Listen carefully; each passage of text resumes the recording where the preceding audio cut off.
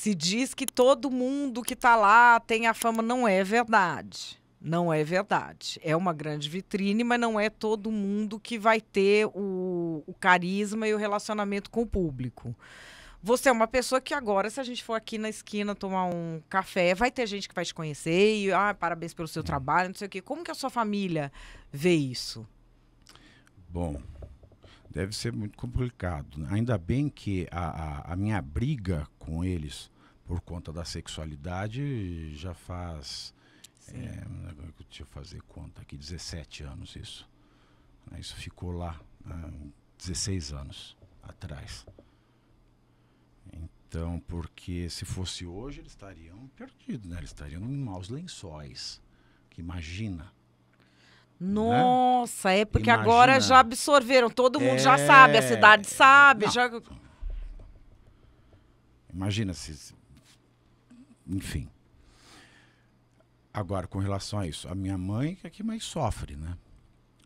Porque a gente vive em, em- em tempos sombrios. E mãe é mãe. Imagina o Lourenço na minha situação. Como é que você não ia ficar? Nossa. Nossa. Nossa. Entendeu? Então. É difícil. Eu ia ficar bem revoltada. Bem revoltada. Mas não, você ficaria revoltado que você é da imprensa. Agora, minha mãe, que é uma, uma, uma- uma senhora recatada do lar, ela tem medo. Ela reza, ela reza muito. Ela fica preocupada. Então, o mais difícil né, da, da, da- minha atual realidade é ser a minha mãe. Esse que é o mais difícil. É ser a minha mãe.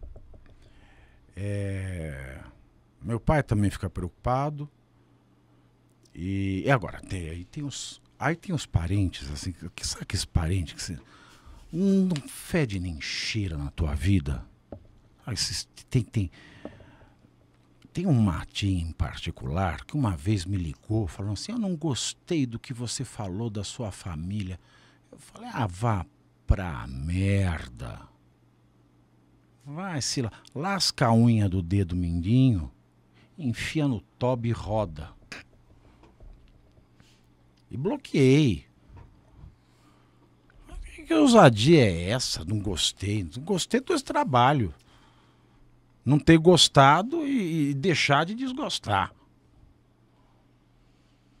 Mas tem em família, eu acho que isso, da pessoa não se conformar que você tem a visibilidade que ela quer ter e aí começar a te distratar? Não tô falando família, família, mas tô falando desse mundaréu de Ah, agregado não tem, tem, lógico que tem. Claro que tem. O que mais tem? A vaidade, né? A vaidade é mãe de todos os pecados. Sim. E quando a gente tá no meio televisivo, nossa, é a fogueira das vaidades, né? Uma feira, uma Vanity Fair é, é, é, do outro mundo. Então. E é aquela coisa. Eu não dormi com ninguém pra estar onde eu tô, eu não, não, não sacaneei ninguém, eu não pisei na cabeça de ninguém. Foi um troço que caiu no meu colo. Que fala, você quer fazer? Eu falei, ah, vou. Porque eu falei, eu sou o primeiro, a- na fila do se fuder, eu sou o primeiro. Eu tô sempre na frente. Nunca fiz televisão. Ah, quer fazer? Vou lá. Ei, ei, vou lá. Tanto é que. Caiu, não vai valer, tá, eu vou fazer.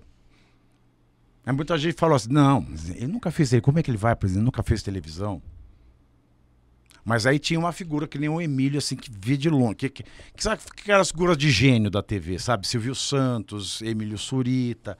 Esse povo que enxerga além do técnico. Ele falou: não, bota a ficha. Bota a ficha. E aí foi. Então, é uma coisa natural, né? Não sei explicar mas é natural.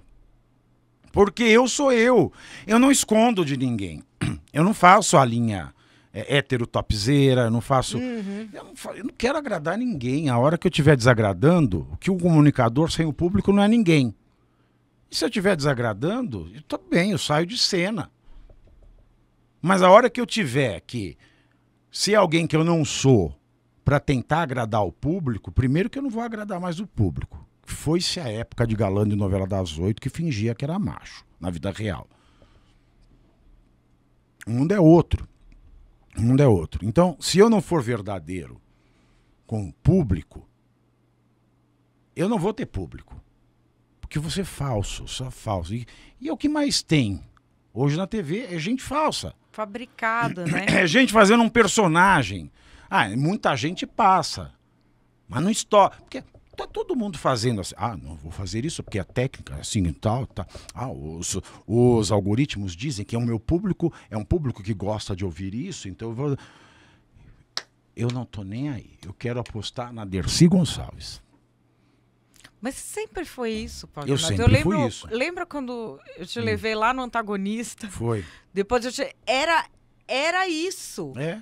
Mas não sei se naquela época você tinha diretores ó, que conseguissem ver o sucesso da autenticidade. Então, quem conseguiu ver foi a Mari, que ela falou assim: vai lá. Aí todo mundo, não, não, não, não, não.